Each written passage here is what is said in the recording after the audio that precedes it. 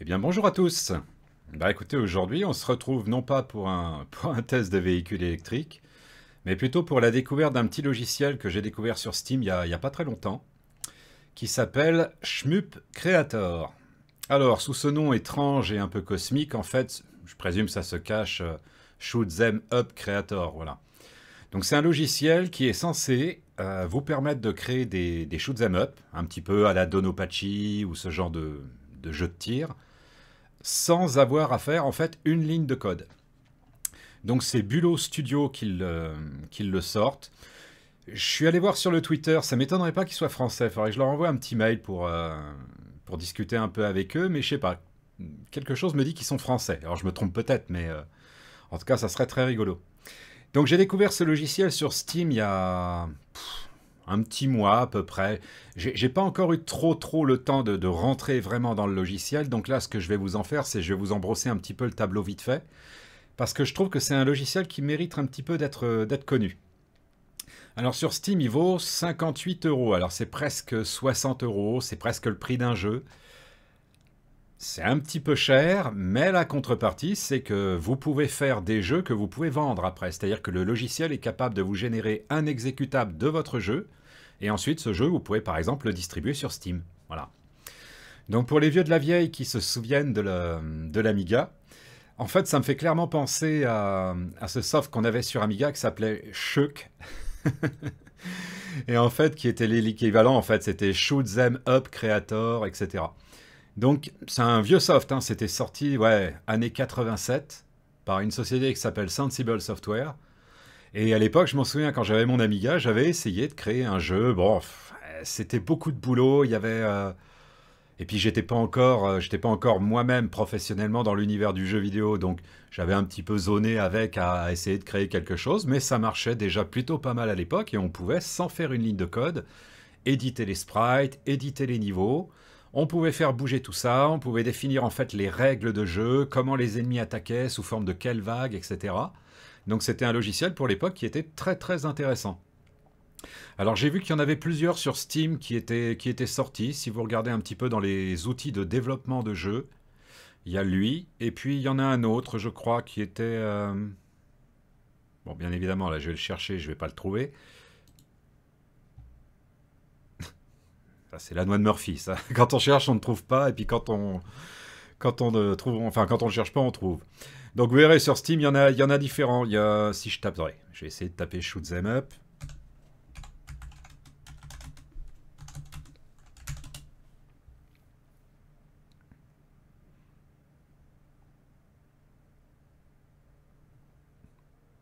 Non, bon, je vais pas le retrouver. Mais il y en a un autre sur Steam qui est à peu près équivalent en termes de pas de fonctionnalité, mais on va dire en termes d'ambition. Voilà, l'ambition de ce deuxième logiciel en fait est de vous créer aussi des shoot'em up. Alors j'ai hésité entre celui-là et puis bah Creator et puis finalement par rapport à ce que j'en ai vu euh, de l'interface, de la vidéo de promotion, etc. Il m'a semblé celui-là m'a semblé quand même plus plus mieux. Voilà. Donc c'est de celui-là dont je vais vous parler. Alors, Ah oui, vous pouvez tout définir, hein. les tirs, les bonus, les options, les explosions, vous pouvez vraiment, voilà, et sans aucune ligne de code, vous définissez tout à la souris. Donc je vais vous présenter un petit peu le logiciel, on va dire sommairement, pour ouais, je vais essayer de vous donner envie. Et puis bah si ça vous plaît, dites-moi dans les commentaires si vous voulez qu'on aille un petit peu plus loin dans la compréhension du soft. Mais ça reste quand même assez simple. Euh, il faut rentrer un peu dedans parce que l'interface est un peu cosmique mais ça reste quand même malgré tout assez humain. Voilà, c'est pas non plus une galère, euh, une galère à s'en servir. Donc, le logiciel, quand vous le démarrez, en fait, il démarre comme ça. C'est-à-dire que vous arrivez directement dans euh, l'éditeur de jeu. Donc ça, est-ce que ça c'est le...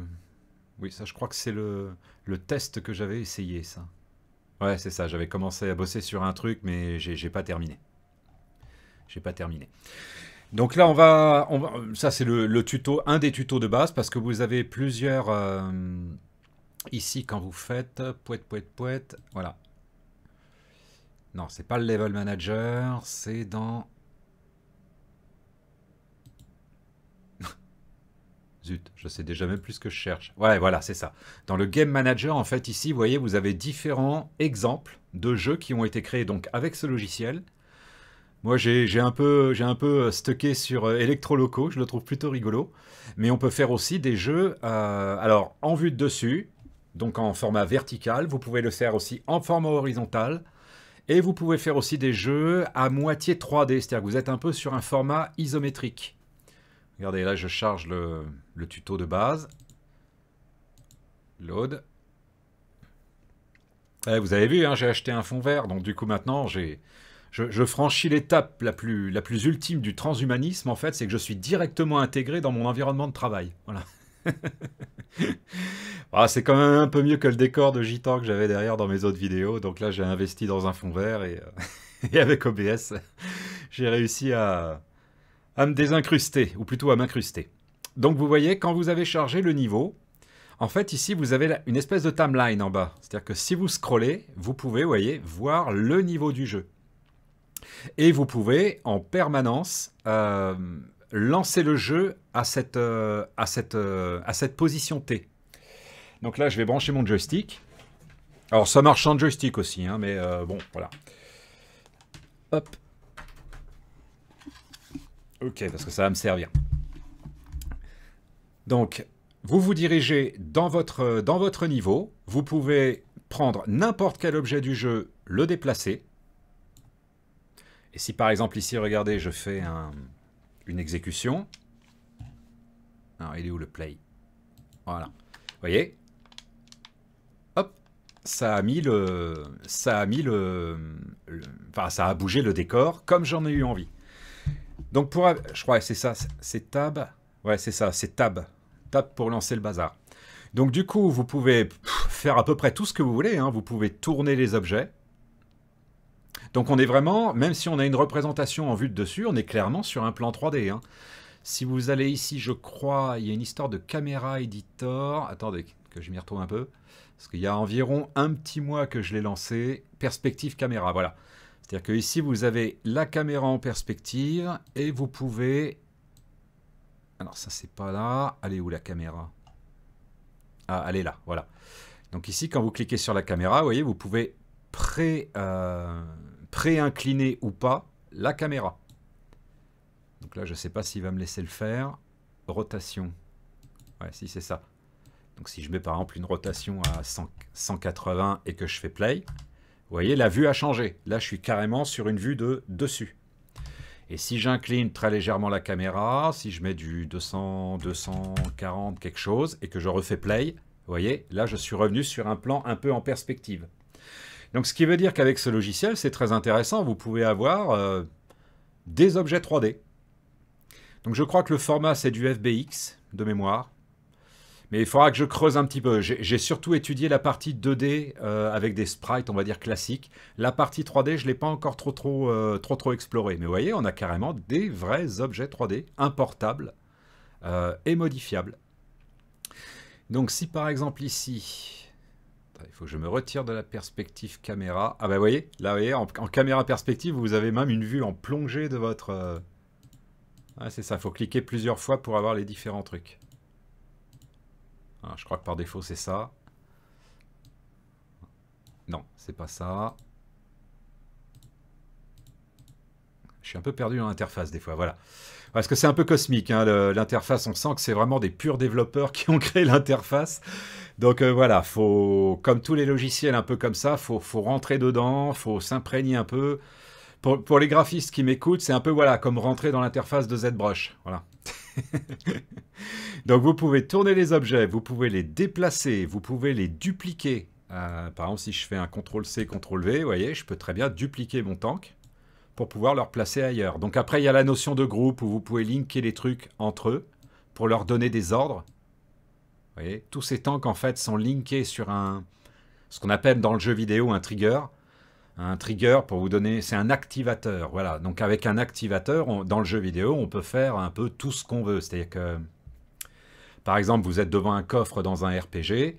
Il y a très certainement au-dessus du coffre un trigger que l'utilisateur va pouvoir activer pour ouvrir la porte du coffre. Ça, c'était quelque chose qui est très classique, entre guillemets, dans le jeu vidéo. Les triggers, on ne... En fait, un jeu vidéo, pour tout vous expliquer, ne fonctionne pratiquement qu'avec des triggers. Est-ce que mon joueur a tiré? Est-ce que le tir a touché tel ennemi? Est-ce que le tir touche un mur? Est-ce que le tir touche une surface destructible, etc., etc. Un jeu, finalement, un jeu vidéo n'est que l'empilement de tas de triggers que le, où le joueur va rentrer en interaction avec eux. Donc ce logiciel obéit complètement à cette philosophie de, de game design. Voilà. Donc euh, là-dessus, je dirais, il n'y a pas... C'est pas qu'il n'y a pas grande surprise, mais on va dire que ceux qui sont un peu comme moi, qui bossent dans l'univers du jeu vidéo, franchement, vous vous y retrouverez. En revanche, si vous êtes complètement noob, euh, que vous avez euh, aucune expérience dans le domaine, bon, ben, il va falloir que vous fassiez un petit peu, on va dire, des expériences et des erreurs pour pouvoir voir à quoi sert tel ou tel trigger. Parce que vous voyez, quand vous activez un trigger, ici, vous avez, un peu comme dans Unity, vous avez un inspecteur ici, et en fonction de l'objet que vous cliquez, vous pouvez lui définir, entre guillemets, des euh, propriétés. Donc ici, vous pouvez définir en fait le setting de base. Ici, vous pouvez définir comment se comportent les collisions de tel ou tel objet. Dans le cas d'un ennemi, Vous pouvez définir en fait quelle va être la vague d'ennemis. En termes de gameplay, par exemple, vous allez pouvoir définir la vie de tel ou tel objet. Vous allez pouvoir définir dans score combien cet objet va vous rapporter si vous le détruisez, etc. Donc en fait, vous avez, toute la liste des propriétés possibles d'un jeu, modifiables et activables. Donc, si par exemple je me mets ici et que j'exécute le jeu, vous voyez, en fait, vous pouvez tout définir. Hein. Vous pouvez définir le fond qui est derrière, le menu du jeu, voilà, à quel rythme arrivent les ennemis, qu'est-ce que vous tirez, qu'est-ce que ça fait. Vous voyez, j'ai activé une smart bomb. Vous pouvez définir que l'ennemi sort des petits bonus quand vous le tuez. Ça me fait vraiment penser à Strider, euh, Striker ou alors à 1945. Qu'est-ce que j'ai pu claquer des thunes dans ces bandes d'arcade de 1945 Putain, c'était à l'époque quand il y avait une, il y avait une salle d'arcade de ouf sur les Champs-Élysées. Et avec des potes, en fait, on allait prendre des canettes de bière, des pièces de 10 balles et on passait nos journées en fait à jouer à des jeux Sega comme ça. C'était trop rigolo. Donc voilà, alors, comment on crée euh, un nouvel ennemi? Ben, En fait, vous allez ici, c'est-à-dire qu'ici, vous allez avoir, en fonction du répertoire de votre jeu, les médias que vous allez y mettre vont apparaître dans cette espèce de liste. Alors c'est là où c'est un petit peu cosmique, il faut vraiment lire un petit peu la doc. C'est-à-dire que c'est pas vraiment euh, user-friendly. On sent que c'est vraiment un soft de développeur. Ou alors il faut rentrer dans la doc pour pouvoir commencer à l'utiliser. Donc moi j'avais commencé à un moment à faire un petit, un petit essai de jeu euh, poète, poète, poète. Ouais, voilà, j'avais commencé ça. Euh, j'avais bossé trois heures dessus, hein, donc euh, prenez pas gaffe au truc. Mais je voulais voir un petit peu comment ça fonctionnait. Et voilà, j'avais commencé donc à, intégrer mon propre... j'avais commencé à bricoler un petit peu des tirs un peu chelous, parce qu'en jouant avec les options, en fait, on peut vraiment arriver à faire des choses vraiment rigolotes, quoi. Donc là, ça, c'est un petit test vite fait que j'ai fait moi, mais qui, voilà, il n'y a pas vraiment de... Il n'y a pas vraiment de... Il a pas vraiment de gameplay ni de jeu, en fait. Donc, ce que j'ai, je me suis contenté de faire, c'est de, dans un premier temps, ben, prendre quelques ennemis euh, qui, étaient, euh, qui étaient présents dans la base de données. J'ai pas pris vraiment le temps de faire les miens. Pourquoi? Bah, Parce que j'ai pas eu le temps. Mais euh, je m'étais dit, ouais, faut que je fasse quand même une petite vidéo de présentation de ce logiciel parce qu'il est quand même très très très intéressant. Donc regardez par exemple, si là... Alors pour les backgrounds, comment ça se passe déjà?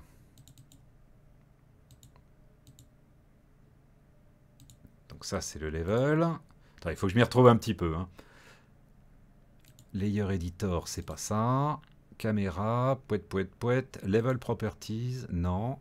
Merde, c'est où les backgrounds? Putain, je me souviens plus. Ah oui, c'est ça. C'est-à-dire qu'ici, dans les backgrounds, vous pouvez après rajouter plus ou moins d'éléments. Donc là, euh, je vais faire un CTRL-C. Je vais me déplacer un petit peu plus loin. Je vais faire un CTRL-V. Et hop, vous Alors, il y a un espèce de snap. C'est plutôt pratique. Ça se snap sur une grille. Donc, du coup, bah, ça permet des, choses un peu... Euh, ça vous permet de bosser de manière un peu approximative. Le truc sera toujours à peu près bien calé. Vous voyez, si je cale bien le, fond, on sent qu'il y a une petite magnétisation de la grille. Donc, je vais reculer. Hop. Et hop, clac, voilà. Donc vous avez vraiment moyen de faire vraiment matcher les, euh, différentes parties entre elles. Il y a, des, il aides, voilà, c'est plutôt agréable. Quand on est graphiste, on est toujours un peu friand de ce genre de choses. Et là, vous voyez, pof, mon fond s'est réintégré dans mon level. Donc, par exemple, là, je vais rajouter... Attendez, je vais plutôt virer les fonds parce que ça fout un peu le bordel visuellement. Voilà. Donc, vous voyez, là, par exemple, ici, j'ai ajouté un ennemi. Alors, cet ennemi, je peux très bien le reculer. Ce qui fait que quand je démarre le jeu, vous voyez, j'ai le premier ennemi et ensuite, j'ai le deuxième qui apparaît. Alors, le logiciel ne vous montre pas l'escadrille. Il vous montre un ennemi, mais en contrepartie, ici, quand vous allez dans le Web Editor, ici, vous pouvez définir comment les ennemis vont arriver, sous la forme de quoi. Donc là, moi, j'ai dit euh, un cercle. Alors, vous pouvez faire random. Donc, ça veut dire que dans une zone donnée, ils vont apparaître de manière un petit peu aléatoire dans le, dans le bordel. Vous voyez, là, ils se sont spawnés un peu de manière aléatoire. Euh, pardon, si je fais random, voilà. Vous voyez, là, il se spawn un peu de manière aléatoire. Par contre, si je fais circle, quand il démarre, vous voyez, ils sont dans l'area dans du, du, cercle. Si je fais point, je précise qu'ils vont tous partir du même point. Oui, voilà, c'est ça. Si je fais plane, bon, bah, je pense que ça va être un carré, hein, non? Ah, ça c'est un peu étrange, je comprends pas trop le, plane et le triangle. Alors faut le savoir que c'est un logiciel qui est encore en développement, hein. donc il y a des petits bugs ou des, il y a des petites choses en fait qui vont devoir un petit peu s'améliorer avec le temps. Donc là si je fais plane et que je change le nombre de lignes, ah c'est ça. Voilà, c'est-à-dire que là vous voyez ils vont apparaître sous forme d'une grille. Voilà, c'est ça. En fait, ils apparaissent sous forme de rangées et de lignes. Alors, faut faire des tests. Hein. Malheureusement, il y a des trucs, c'est un peu cosmique des fois, entre ce que ça dit dans l'écran et ce que toi tu vois euh, une fois que ça fonctionne. Non, non, ils sont bien apparus sous forme d'une ligne, effectivement. Et si je mets 5, là, ça va être dans toute la zone. Ouais, c'est ça. Voilà. Mais l'une après l'autre. Avec un petit temps de délai. Voilà, c'est ça. Ici, vous avez le swap intervalle. Donc, si j'enlève le swap intervalle, je présume qui vont tous apparaître en même temps. Voilà, c'est ça. Donc vous voyez, c'est très complet. Hein. Vous avez vraiment les moyens de, vraiment peaufiner votre, votre petit bidule pour euh, vraiment que ça fonctionne comme vous en avez envie. Donc je présume que c'est un temps en. Donc je présume que si je mets 1, je vais avoir une vague d'ennemis qui va apparaître toutes les secondes. 1, 2, 3, 4, 5, c'est ça. Donc ensuite on a quoi? Caché, quand il est asleep, asleep ça veut dire quoi? Quand il est quand il n'est pas actif. Donc si je le mets là et que je lance, il va apparaître, voilà. C'est-à-dire que là, en fait, il va apparaître quand le sprite va arriver dans cette extrémité de l'écran. D'accord. Non, vous allez voir, hein, c'est très riche en fait. Hein. il y a beaucoup de, il y a beaucoup, beaucoup, beaucoup d'options. C'est pour ça là, je vais essayer de pas faire une vidéo trop trop longue, histoire de, parce qu'on m'a dit que j'étais un peu rasoir des fois et trop long dans mes vidéos, donc je vais essayer de raccourcir un peu le truc. Mais pour vous brosser le tableau, c'est un peu voilà, comme ça que ça marche. Donc si je fais circle, c'est ça. Donc là, ils apparaissent avec un, un, espace de une seconde sous la forme d'un cercle. Donc là... Donc vous voyez, hein, vous avez vraiment les moyens de faire des vagues d'ennemis euh, vraiment, euh, vraiment sympas. Hein. Si vous le mettez par exemple ici et que vous agrandissez... Ah, on peut même faire des ellipses. Ça, je ne savais pas. D'accord.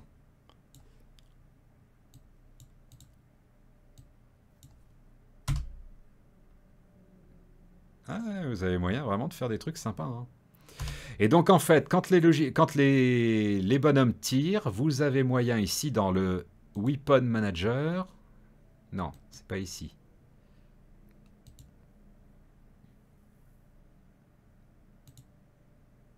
Alors là, on a vu que c'était pour définir la collision, ce qu'on appelle en jeu vidéo la shape, c'est-à-dire l'enveloppe qui va entourer le sprite pour en définir en fait des collisions précises. Voilà. Alors, donc il vous pouvez même définir, vous voyez, qu'ils sont invincibles pendant une courte période de temps. C'est quoi le keep formation?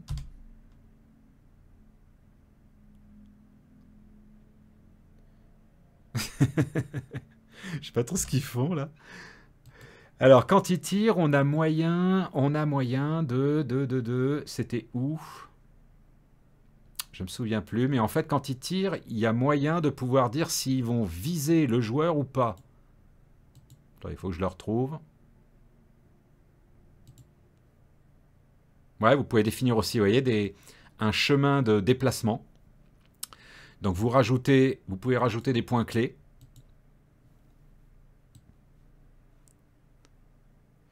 Donc vous avez vraiment moyen de faire des, euh, des chemins plutôt complexes, c'est-à-dire que vous pouvez faire carrément des sinusoïdes quand le truc arrive, etc., etc. Donc là, ils vont orienter, voilà, c'est ça, ils vont être orientés dans la direction du joueur, c'est-à-dire que les, en fonction de la vague, ils vont toujours être soit orientés par rapport à ce qu'on appelle le pass, c'est-à-dire la direction du chemin. Et vous pouvez définir, vous voyez, là ils sont, ils vont toujours s'orienter vers le chemin, ou alors ils vont suivre leur chemin, mais par contre en regardant le joueur. Vous voyez, là ils regardent le joueur à chaque fois. Ou vous pouvez définir une orientation fixe. Ah non, c'est assez complet, il hein. n'y a, pas, pas à tortiller. Hein. Donc en termes de vagues, on a vu ça. Ensuite en termes de gameplay, là vous pouvez donc définir le nombre de points de vie qu'ils ont. Donc là par défaut ils ont un point de vie. Donc si vous voulez augmenter leur résistance, ben, vous augmentez le nombre de points de vie. Ensuite, à leur mort, ils peuvent lâcher des petits items. Donc ça, c'est ici. Ils peuvent lâcher, par exemple, des petites étoiles. Donc si, par exemple, là, je clique, que j'exécute et que je les tue,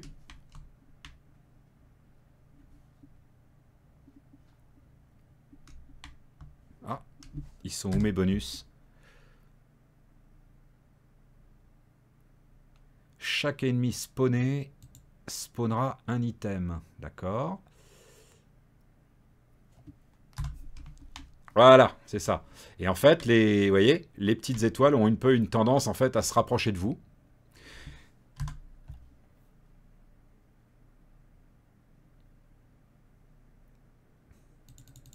Radius, d'accord? Ça c'est pour définir en fait le champ de, radius qui vont, qui, vont, qui vont sortir à chaque fois. Donc là, combien d'étoiles? Ben, Une à chaque, à, chaque, à chaque bonhomme. Voilà, donc chaque bonhomme maintenant tire une étoile. Ensuite, vous pouvez définir l'explosion de l'ennemi. Donc, vous pouvez faire une 2D explosion. Alors, les 2D explosions, c'est celle-là. Poum, poum, poum. Donc, on a de la bonne vieille, euh, on a de la bonne vieille explosion sous forme de sprite. Vous pouvez définir de la big explosion. Donc, ça, c'est par exemple une explosion que vous allez utiliser quand vous tuez le boss, par exemple. Donc là, si je définis big explosion, bam, bam, bam, bam, bam, bam, bam, bam, là, il y a tout qui pète. Explosion Smart Bomb, Medium Explosion, vous avez des, des Vector Explosions, celles-là elles sont plutôt jolies en fait. Vous voyez, ça tire des... C'est comme des petits nuages de points un peu. Alors, il faut savoir que tout ça, bien évidemment, est modifiable et, euh, et bidouillable. C'est-à-dire que ici, quand vous allez dans Pouet Pouet Pouet, c'est où? Je vous dis, l'interface, elle est un peu cosmique, faut, faut rentrer dedans. Voilà. Dans les explosions, par exemple, ici, vous avez le vecteur explosion. Donc, vous pouvez voir dans la fenêtre le résultat de cette explosion. Et ici, vous pouvez changer, en fait, les, euh, les paramètres. Alors, c'est un petit moteur de particules. Alors, ça doit être dans le Particle Editor. Voilà, c'est ça. Donc ici, on a quoi?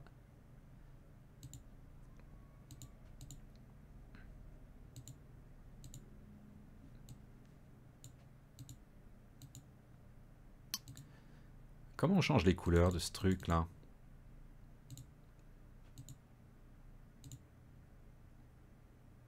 Alors c'est un peu étrange parce que je devrais normalement retrouver ici les explosions qu'il y a là.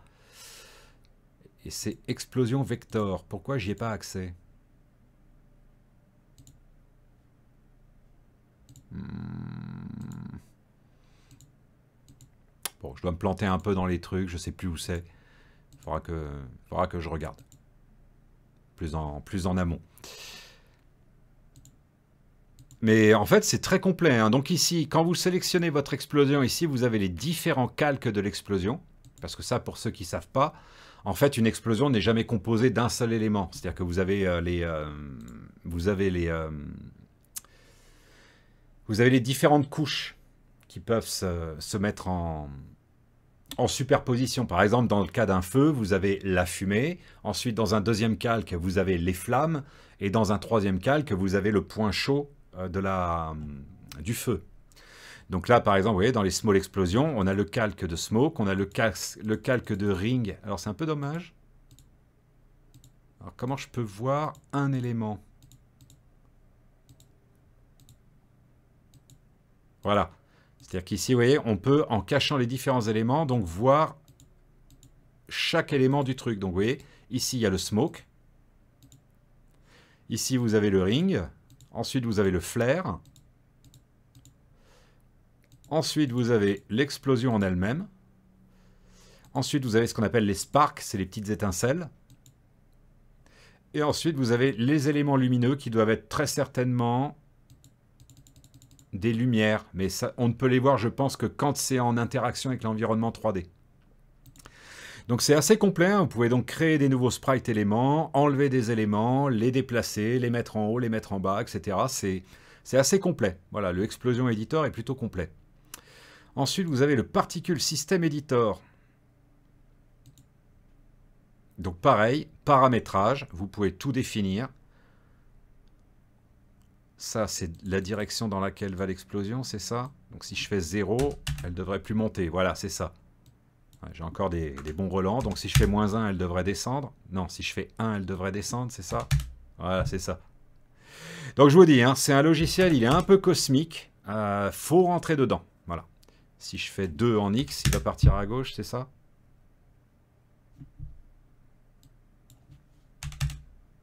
Voilà, c'est ça. Donc vous pouvez vraiment en faire tout votre setup d'explosion, de tir, de machin, et ensuite les utiliser dans votre jeu. Alors vous pouvez repartir bien évidemment d'un élément déjà présent. Alors c'est un peu dommage qu'il n'y ait pas de duplicata. Euh, ça j'aurais bien aimé le trouver. Éventuellement pouvoir prendre un effet existant et le dupliquer. Je pense que ça, ça fera partie du petit mail que je vais, envoyer aux développeurs. Ouais, on peut renommer un effet, on peut le déléter et on peut en ajouter un mais on ne peut pas en dupliquer Ça, ça fait partie des petits trucs qui manquent un petit peu. Donc pareil, hein, là, dans le cas de cette petite euh, animation de, red dot, vous pouvez définir donc quel sprite ça va utiliser. Donc ici, vous pouvez changer, euh, vous voyez, vous changez le, le sprite.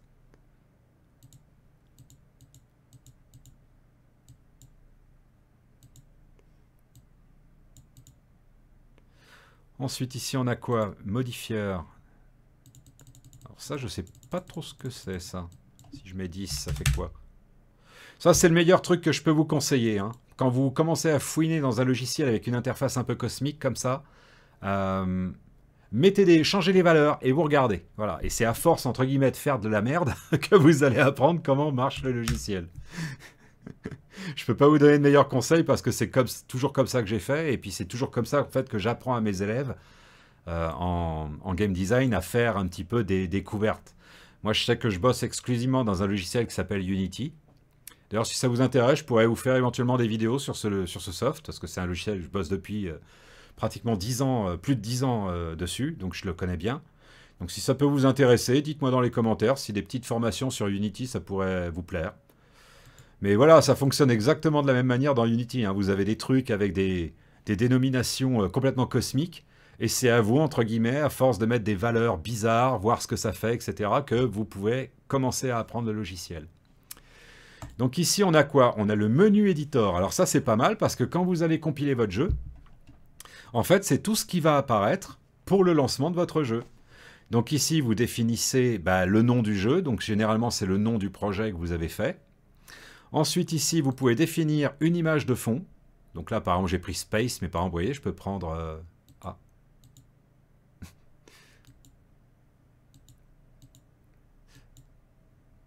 Ah oui, non, non, je, je lui dis des conneries. Non, c'est ici, voilà. Vous voyez, ici, je peux prendre par exemple... Parce que le splash screen, en fait, c'est la première image qui va se lancer au démarrage du jeu. Voilà. Donc vous pouvez mettre votre propre splash screen. Par exemple, vous décidez de vous appeler euh, Tartampion Studio. Ben, vous allez faire une image, par exemple, en 1920 par 1080. Vous allez marquer Tartampion Studio présente. Et c'est ça le splash screen. Voilà. Donc par défaut, il en fournit quelques-uns. Je crois que par défaut, c'est le, nom du studio, c'est Bulo Studio, euh, Schmuck Creator, etc. Mais vous pouvez a priori le changer. Et là, ça, c'est l'image du menu, ici. Donc vous voyez, vous pouvez tout choisir. Hein. Euh, il y en a plein. Vous avez du Game Over, vous avez du Level Complete, vous avez... Euh, ça, c'est plutôt des sprites de texte. Mais ouais, là, prenez par exemple du Star ou du Space Star transparente ou alors du BG Grid, par exemple. Voilà. Vous pouvez choisir la musique du jeu. Vous pouvez définir ici si ça fit en horizontal ou en vertical. Ici, vous pouvez donc définir après la position des différents graphismes. Donc là, ça c'est quoi ça? BG Grid Ouais, c'est ça, vous pouvez mettre votre propre logo, en fait. Voilà. Par exemple, Level Complete, vous voyez. Vous pouvez définir la taille de ce truc-là. Alors j'aimerais bien, par exemple, j'aimerais bien des contrôles. Si vous m'écoutez, Bulo Studio, et que vous êtes français, euh, j'aimerais bien ici pouvoir bidouiller les valeurs avec la souris, euh, avec la molette, vous voyez Parce que là, les petites flèches, c'est sympa, mais... Alors déjà, elles ne se répètent pas. Il faut cliquer à chaque fois dessus, ça c'est un peu casse-couille. Donc euh, pensez à ce genre de petits trucs d'ergonomie, hein, dans le cas où vous êtes français. Et ici, vous pouvez donc définir le texte des différentes choses que vous allez utiliser avec, en choisissant, vous pouvez faire vos propres euh, typos. Voilà. Alors, il y a toute une procédure qui est expliquée dans la doc pour pouvoir générer ses propres typos. Il faut se servir d'un logiciel qui s'appelle Bitmap Font Creator ou un truc comme ça. Et ensuite, vous les importez dans le répertoire du jeu et vous êtes après capable de les utiliser. Donc, par défaut, ils en fournissent quelques-uns. Ça, c'est clairement les, euh, les typos qu'on avait à l'époque sur les jeux et les démos Amiga. Donc vous pouvez définir après l'emplacement d'où se trouve le menu. Vous pouvez donc définir la typo du menu. Ensuite, on a quoi? Duration, offset. offset, généralement, c'est décalage. Ouais, c'est ça. Donc si je fais, si je fais 50, voilà, c'est ça. Vous pouvez définir un, un décalage d'offset pour chaque truc. Vous pouvez définir la couleur. Alors ça change quoi? Ah oui, donc ça c'est la couleur du texte sélectionné. Ensuite la transition, bon bah ça ça doit être un effet de transition entre les trucs, mais là on peut pas le voir dans, dans la preview. Test menu sélection. Ah oui, vous pouvez, vous pouvez tester en fait. Ah ça je l'avais pas vu ça. Ah c'est ça la transition. D'accord, ok, ok, ok, ok. Donc si je change la vitesse de transition et que je la mets à 17, par exemple 0,17, d'accord. Et si je la mets à 3, voilà, là ça se déplace beaucoup plus lentement. Ok, ok. J'ai pas vraiment regardé tout ça, hein. je découvre un peu en même, temps, en même temps que vous là. Alors, ensuite vous pouvez définir un menu quand on a du menu Go, du menu Back, du Select bouton. Donc en fait, à chaque interaction, vous pouvez définir un son. Ensuite, on a le HUD Creator. Donc ça, c'est ce qui va faire en fait l'affichage euh, du gameplay dans votre jeu. Donc là, vous voyez, ici, vous avez... Euh, vous voyez, c'est ce qu'on affiche ici, là en haut. Le bombe, score, etc. Donc ici, ça, vous pouvez le définir aussi. Vous pouvez définir la taille de la typo. Donc si je mets 190, euh, par exemple, ou 30, vous voyez, ça change la taille des typos qui vont s'afficher. Ensuite, vous pouvez définir le background du HUD. Alors ça, je vois pas trop ce que c'est. Ah, d'accord, ok, c'est la... Ok, d'accord. Vous pouvez définir un bitmap derrière le, le HUD. Ok, ok, ok.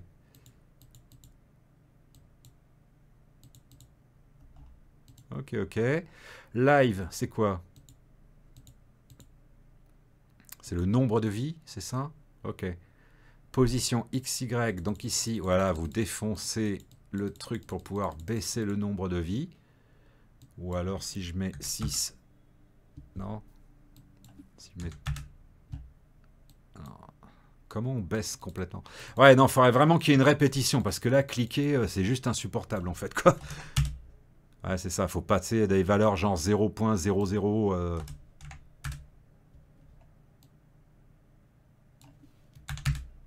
Ouais. Bon, c'est un peu... Voilà, je vous dis, c'est une interface de programmeur, quoi. Voilà, faut rentrer dedans. Ensuite, on a quoi? Le médaille multiplicateur. Ouais, tout ça, c'est des choses que vous pouvez afficher. Le nombre de médailles que vous avez collectées dans le jeu. Ou alors le multiplicateur, très certainement de points. Ouais, ça. Ça, ça affiche le nombre de bombes que vous avez. Donc en fait, voilà, c'est des... Clairement, c'est des variables. Hein. C'est des variables que vous pouvez afficher ou pas dans votre jeu. Voilà. Ensuite, on a quoi? Des jauges et des barres. Ah, vous pouvez définir des trucs à force de... Ah, ouais, on peut afficher les barres des ennemis. Ça, ça doit marcher que pour les boss, je pense. Ouais, ça, ça doit être pour les boss. Et ici, vous avez la fin du jeu. Donc, c'est ici que vous allez définir, entre guillemets, le euh, congratulations, vous avez gagné, vous avez sauvé le monde, etc., etc. Voilà, le level complete. Donc pareil, avec toujours des histoires d'offset, vous pouvez monter ou descendre le texte, l'agrandir ou le rétrécir avec tel ou tel typo. toujours pareil. Donc non, non, c'est vraiment, un, vraiment un très très bon petit logiciel. Très très très très bon. Donc ensuite, on a quoi? On a... Donc ça, c'était dans le Game Editor. Et ici, on a quoi? Particule locator pour ajouter un particule système. Voilà, ici vous avez le Weapon Editor. Alors ça, c'est ce qui va définir en fait comment tirent les ennemis. Alors, alors ça, j'ai malheureusement pas eu trop le temps de regarder. Donc si j'augmente le nombre de boulettes, ouais, vous voyez, ça augmente le nombre de boulettes qui m'envoie dans la tronche. Donc si je mets 0, ah, on peut pas, c'est 1 par défaut. Ensuite, vous avez, vous devez très certainement avoir, voilà, le time entre chaque boulette. Donc ça veut dire que si je réduis cette valeur, voilà, là il tire, vous voyez, de manière beaucoup plus euh, rapide. Ou vous pouvez définir par exemple un tir toutes les secondes. Bim, bim, bim. Non, c'est vraiment bien. Hein. Donc l'arme peut avoir... Ah, ben c'est là, c'est là où il peut viser. C'est le truc que je cherchais tout à l'heure, où en fait où il peut viser le joueur ou pas. C'est-à-dire que là, quand l'arme tire, vous voyez, elle tire dans le sens de direction du vaisseau, ou alors elle peut automatiquement viser le joueur pendant sa, son, ben, pendant sa, déplacement. Voilà. Parallèle, c'est quoi?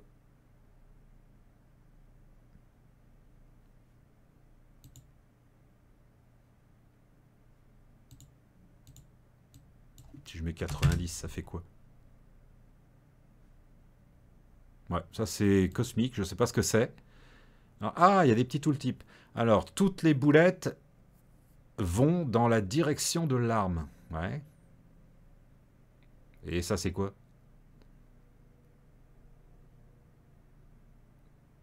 Ouais, c'est un peu cosmique, ça. je ne sais pas trop ce que c'est. Bon, je vais remettre à zéro. Donc, le nombre de boulettes, vous voyez, là, il peut tirer voilà, des salves, entre guillemets, il peut tirer des salves de 3 ou 4 boulettes avec un intervalle de voilà. Vous voyez Il est capable de tirer 4 d'un coup. Non, c'est, il, est, il est vraiment excellent ce petit logiciel. j'ai vraiment craqué parce que même s'il n'est pas clair, entre guillemets, et, parce qu'il faut rentrer dedans, je trouve quand même qu'il est bourré de bonnes options qui vous permettent vraiment de configurer vraiment quelque chose vraiment comme vous en avez envie. Mais pour ça, bien sûr, faut rentrer dedans. Hein. C'est ce que je dis à mes élèves. Hein. Il n'y a rien de gratuit dans ce monde. Il n'y a que l'obstination et le travail qui payent. Donc, si vous avez vraiment envie de faire un shoot them up pour vous, bah, rentrez dans le logiciel. Parce que c'est vrai qu'en termes de tuto, tout ça, il y a pas mal de petites vidéos qui présentent un petit peu le truc sur leur site. Mais ça reste quand même assez succinct. Hein. Ça, ne, ça ne remplacera pas la curiosité intellectuelle que vous pourrez y mettre dedans. Donc ici, vous choisissez donc le type d'arme qui va tirer. Donc des petites boulettes. oh, c'est tout mignon en fait. C'est tout mignon, tout mignon, tout mignon. Soit des petits lasers bleus, etc. etc. Ah, vous pouvez faire des armes destructibles. Ah, ça c'est bien ça. attendez, il faut que j'essaye ça. C'est-à-dire que je peux tirer dans les... Ah oui, je peux tirer dans les tirs. Ah, ça c'est bon ça. Parce que ça, généralement, dans les shoot'em up, c'est un peu chiant, quoi. Tu, tu peux jamais tirer dans les tirs de l'ennemi. Bah là, on peut. Ouais, ça tue les ça tue les tirs. Ah, c'est vachement bien ça. Merde, j'étais où? Ah zut, j'ai paumé le truc.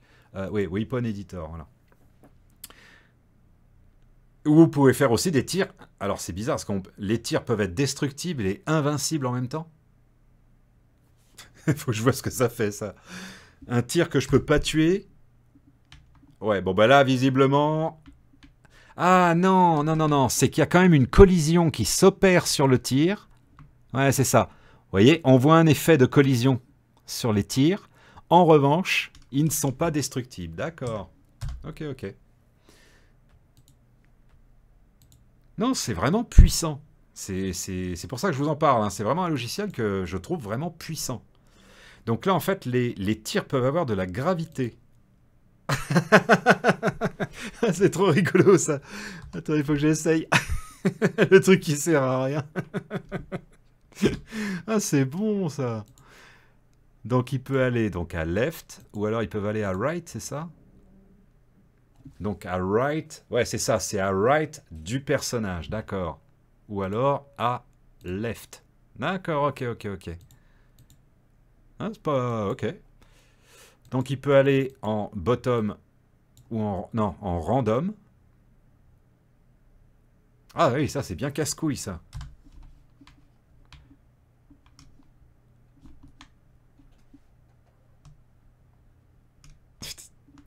Non, vous ne m'aurez pas, saloperie d'alien. J'ai galéré un peu pour le, faire, là, mon tir, là, euh, sous la forme d'un seul et même ruban. Mais en fait, c'est un truc qui n'était pas fourni dès le départ. En fait, j'ai en bricolant un peu dans les options, j'ai trouvé le moyen de faire ce truc un peu, euh, un peu, un peu chelou, quoi. Donc ensuite, on a angle, non, d'accord. Ensuite, donc les tirs au démarrage peuvent avoir une vitesse. Et ensuite, Transition, duration. Start time. C'est un peu cosmique ça. Donc ça, ça fait quoi? D'accord. Ils ont une vitesse de départ et ils s'arrêtent très vite. Donc si je mets 60. Ok.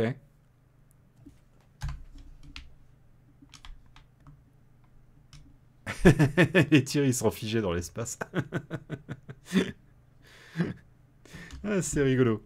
C'est vraiment, vraiment rigolo. J'adore ce soft, en fait. Et j'aimerais bien avoir plus de temps pour me lancer vraiment dans un vrai projet de jeu. Il est, vraiment bien, quoi. Donc ensuite, on a quoi? On a...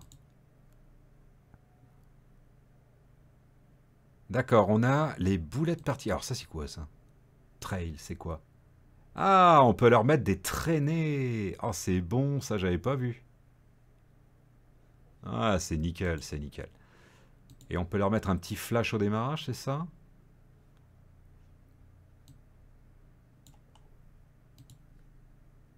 Ah oui, quand le truc il tire, vous voyez, ça rajoute un, petit effet de champ de force. D'accord.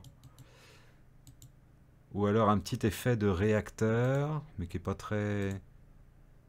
Ou alors voilà, on peut lui mettre une petite explosion, comme si quand il tire, vous voyez, ça, leur rajoute des petites, des, petites, euh, des petites explosions quand il tire. Ensuite, on a quoi? Ensuite, le bullet die. Ça, je pense que le bullet impact... Ah oui, c'est quand il me tape dessus, ok.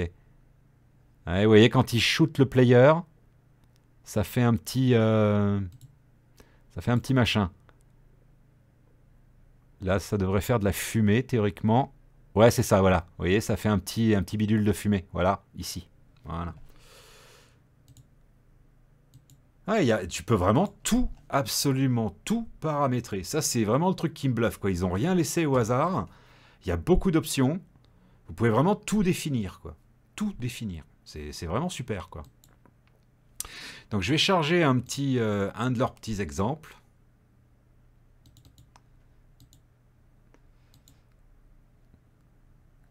Alors, il vous montre, vous voyez, ici, vous avez des, un petit tutoriel, par exemple, pour ce que je disais tout à l'heure, les, triggers, ou alors les bullet patterns. Ce qu'on appelle un, pattern, c'est comment les choses sont émises. Tout à l'heure, je vous ai montré, quand on, a mon, quand on tire, par exemple, les choses s'émettent d'une certaine manière, euh, vont avoir ou pas une traînée, euh, elles vont être conscrites dans un cercle ou pas, etc. Donc c'est ça qu'on appelle le pattern. Euh, pattern en anglais, c'est motif. Voilà. Et dans le jeu vidéo, ça rassemble plein de trucs. C'est un peu cosmique comme terme, mais ça rassemble plein de trucs. Donc là, vous voyez, ça c'est le pattern de diffusion des différentes boulettes. ah, ne me tue pas, ne me tue pas, ne me tue pas, tu ne me vois pas, tu ne me vois pas. Et vous voyez, voilà, il vous montre comment... Vous voyez, il vous montre comment les boss peuvent arriver à tirer. Donc vous voyez, vous pouvez vraiment faire des choses vraiment complexes. Hein. C'est pas, c'est pas juste euh, piou piou quoi. Donc vous prenez votre ennemi, vous prenez les triggers et en fait, vous essayez de changer les différentes options.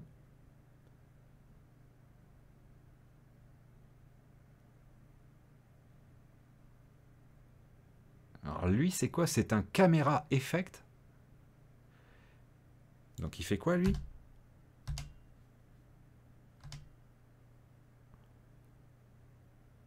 Ok, donc il n'y a pas d'effet. Et si là je fais un caméra check à 3, théoriquement, quand le monstre tire, ça devrait faire un espèce d'effet de, check de la caméra. Non?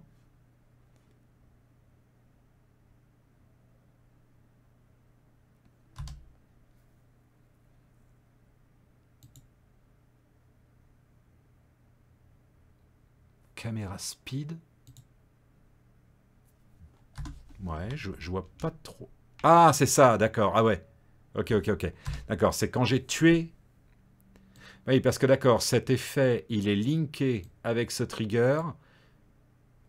Et ce monstre est linké sur ce trigger. D'accord, au fait, d'accord, ok, c'est une pile. Ok.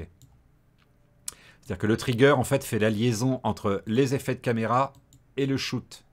C'est ça, d'accord.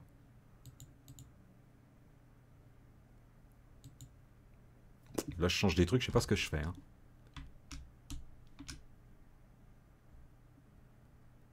One up. Ah, d'accord, ok, ok.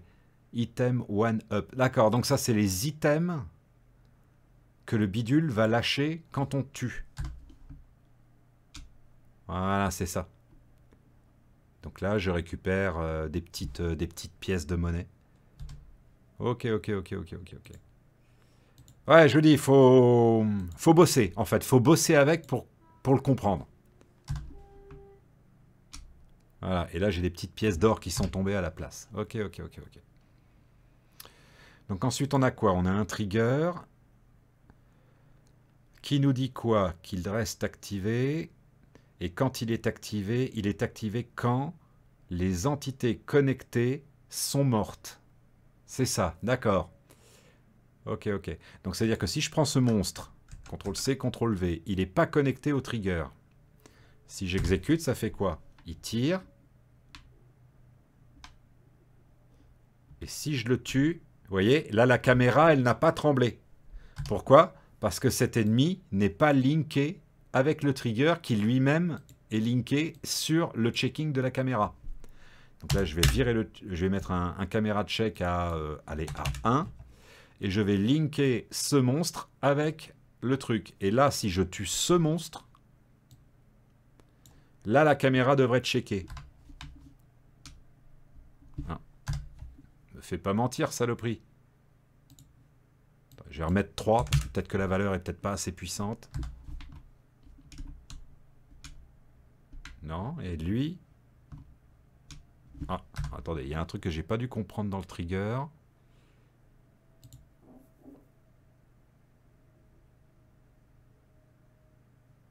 Qu'est-ce que j'ai pas compris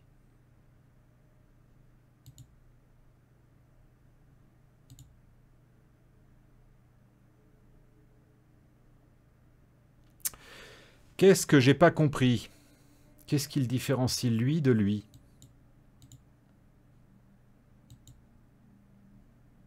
Bon, si je délink lui, comment je peux délinker quelque chose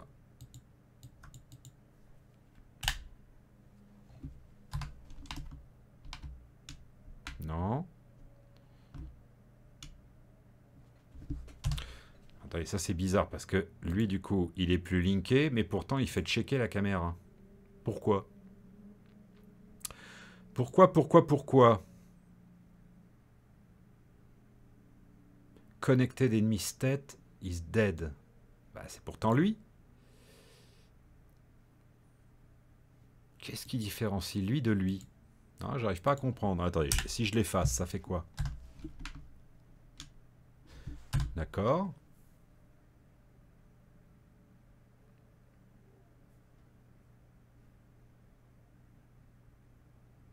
Si je rajoute euh, lui. Le truc qui a aucun sens.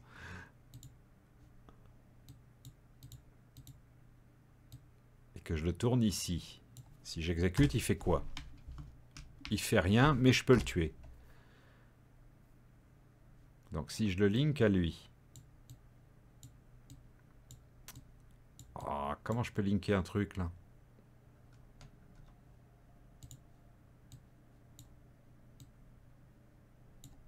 Voilà. Ouais, je comprends pas trop. Là, le checking de la caméra, faudra que j'explore le truc, parce que je comprends pas. Théoriquement... Non, c'est bizarre. Ouais, je vous dis, hein, je l'ai exploré il n'y a pas très très longtemps, ce logiciel-là. Faut, faut, encore que je... faut encore que je... que je, je bricole dedans, quoi.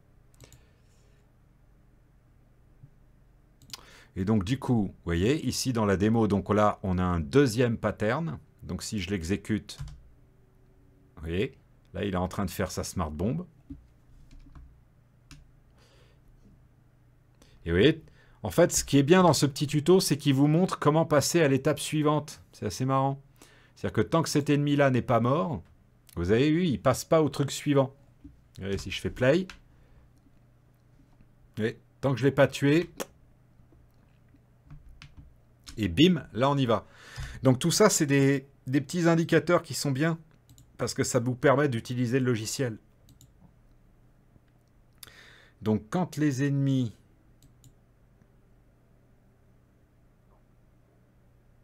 Quand les ennemis sont soit tous morts, soit tous vivants, soit certains sont vivants et soit certains sont morts. Ouais, c'est... Hmm, faut rentrer dedans. Donc, ici, vous avez, une bonne aide en ligne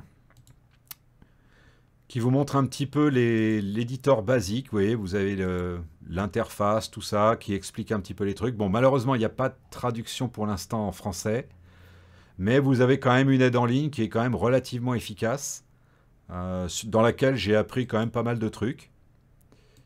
Doc English documentation. C'est pour ça, en fait, je me disais qu'il devait être français, les gars, parce que vous voyez là, Shmup Creator français. Euh, et là, il y a, y a la doc, visiblement, qui est en traduction vers le français. Donc, ça m'étonnerait pas que les gars soient français. je leur enverrai un petit mail pour voir. Bon. Qu'est-ce que je pourrais vous expliquer d'autre un petit peu sur ce logiciel? Bah, je veux dire que là, pour une première vidéo, là, j'en suis déjà à combien de minutes? À 53 minutes. Bon, je vais arrêter là. Mais si vous voulez qu'on aille un petit peu plus loin, euh, ouais, je pourrais faire d'autres vidéos sur le sujet. Dites-moi dans les commentaires. Et puis en attendant, si, euh, si je refais pas de vidéo, ben, j'espère que ça vous aura permis de découvrir ce logiciel qui est vraiment très très bien et qui va vous permettre en fait de faire vos propres jeux sans une seule ligne de code. Vous avez vu, hein, là j'ai posé des ennemis, pouf, tu joues, euh, ça marche quoi. Donc voilà les amis, j'espère que cette petite vidéo vous a plu. N'hésitez pas à vous abonner sur la chaîne, ça me fait toujours plaisir. Et puis ben, en attendant, prenez soin de vous, euh, achetez des pilules d'iode, faites-vous construire un bunker, parce qu'on ne sait jamais.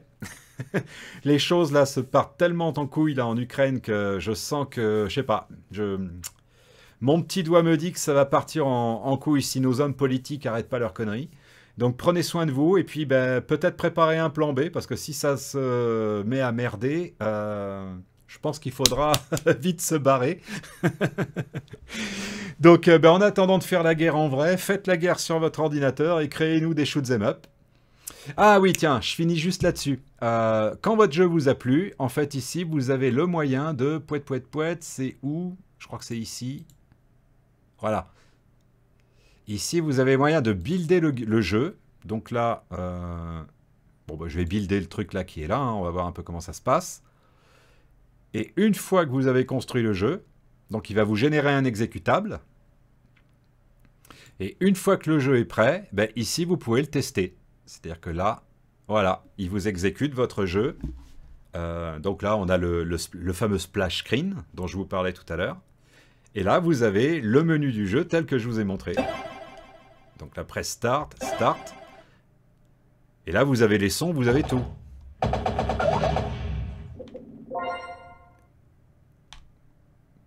Ah. Ouais, j'ai dû, j'ai dû, euh, j'ai dû péter le truc tout à l'heure quand j'ai, euh, quand j'ai enlevé les triggers. j'ai dû tout casser. Et donc, vous voyez, quand vous faites Escape, vous avez un petit menu qui apparaît avec Back to Menu. Ici, dans les settings, vous pouvez gérer... Bah, les... En fait, tout est automatique, hein, vous n'avez rien à faire. Donc ici, dans les graphiques, vous pouvez changer donc la résolution graphique, etc. Est-ce que vous pouvez mettre des ombres, de l'anti-aliasing, etc., etc. Vous pouvez changer les sons, vous pouvez changer les contrôles. Et quitter le jeu. Voilà. Bon, j'espère que cette petite vidéo vous a plu. Je vous dis à bientôt pour de nouvelles aventures. Et puis en attendant, prenez soin de vous. Ciao